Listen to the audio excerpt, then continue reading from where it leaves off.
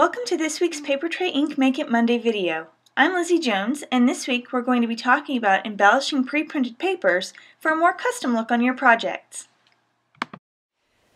Okay, so we're going to start today. And uh, this is the Mint Julep plus white uh, paper collection.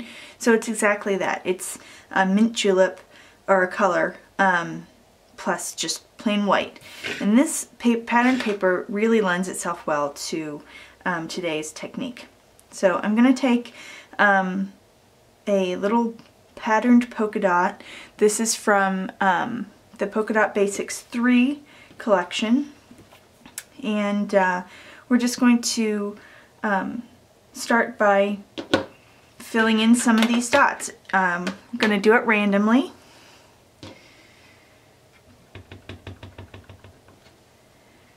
But the whole idea here is that um, we're just dressing up the pattern paper a little bit. We don't want necessarily to always be using um, monochromatic papers.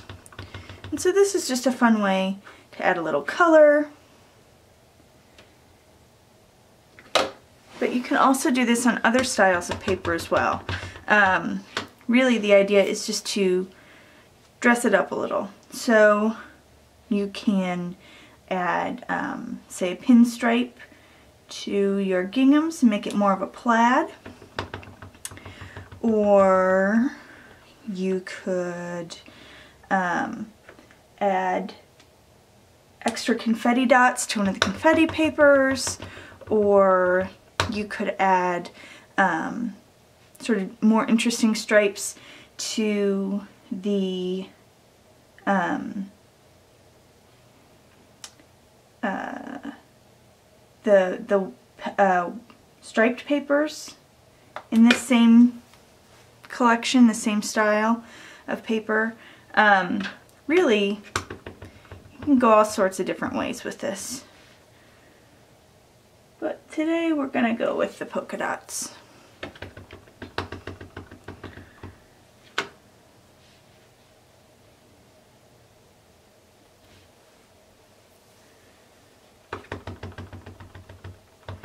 I'm using um, Harvest Gold and Hibiscus Burst and Hawaiian Shores inks today.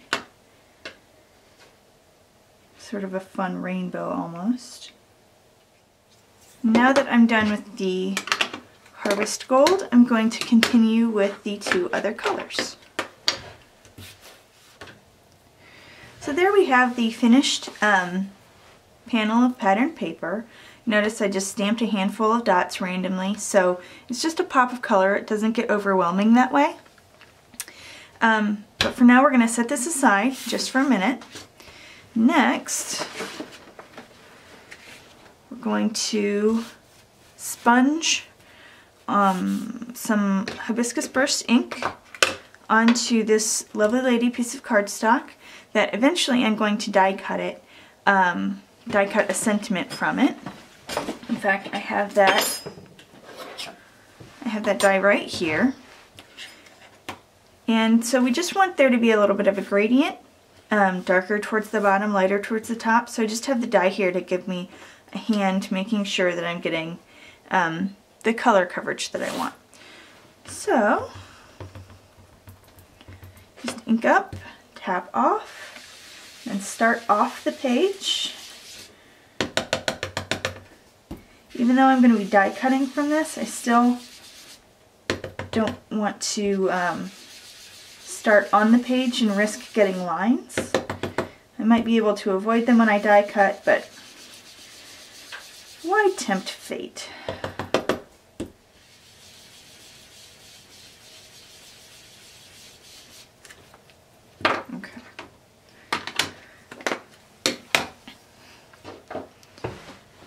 Okay, now I have my sponging done. I have my stamping done and I'm going to go do a little bit of die cutting and I'll be right back. Okay, so I am back with um, my pattern paper panel that I've die cut with the um, Sentiment Splits vertical angled die. And then I have uh, my word here, the hello, the sentiment that was die cut with the noted die. And um, we're going to eventually get this pattern paper mounted onto a white card base. But first, we're just going to place the pattern paper so I can stamp the companion sentiment also from the noted set.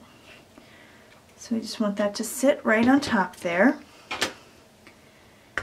Ink this up with some smoky shadow.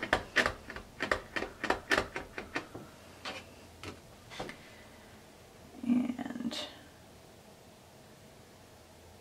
a stamp right here.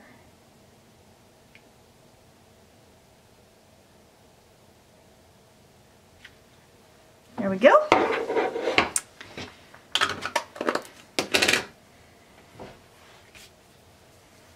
Now it's time to add the elements all together. So, I'm going to add foam tape to the backs of these and the back of the word die. Okay, so all of my pieces have um, foam tape on the back now. I'm very liberal with the foam tape to make sure that big panels like this don't pinch and bend in the mail. Um, so let's go ahead and get these attached. Okay, um, now that I'm looking at it, um, after all my stamping's done, it still feels a little bit flat. So I'm going to dress up the pattern paper even more with a little bit of glitter. And this is the fun of um, customizing pattern paper in this way. You can um, really add your own touch to it um, as you go, as you uh, as you're creating. You can sort of feel it out and decide if it still needs a little something. So I'm going to do this in the same way I did the dots. Um, I'm going to just do it randomly. So here we go. I'm just going to draw on the circle, draw and fill in the circles, and then sprinkle on the glitter. It's as simple as that, but I really think it'll add a fun, um, playful touch.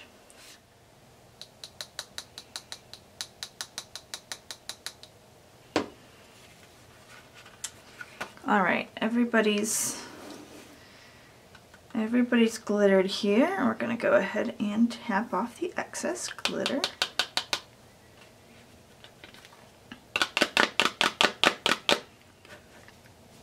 All right, let's put that aside and let's get finished up. So now the hello needs to attach to the card front. Okay, and one last detail. We're going to tie some baker's twine around the front here in a bow.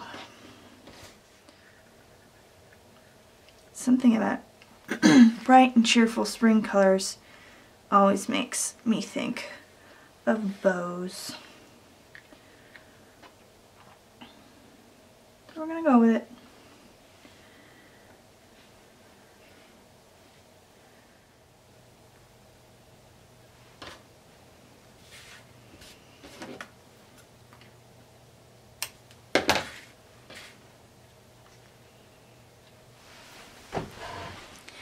So there you go. We took pattern paper that started out like this, just a little bit of mint and white and turned it into a sparkly, more playful, cheerful sort of pattern. Both are great, um, but this one's just a little more custom to our project. So I hope you will look through your pattern paper collection um, and play along this week. Just find something that you can add um, your own twist on. Add a little bit of color or glitter or glossy accents um, and just have fun with it. Thank you so much for joining me today. This has been Lizzie Jones with this week's Papertrey Ink Make It Monday. Have a great week, everybody. Bye-bye. Now it's your turn. Head over to Nicole Heady's blog to link up your project for your chance to win a gift certificate to the Papertrey Ink store. I can't wait to see what you create.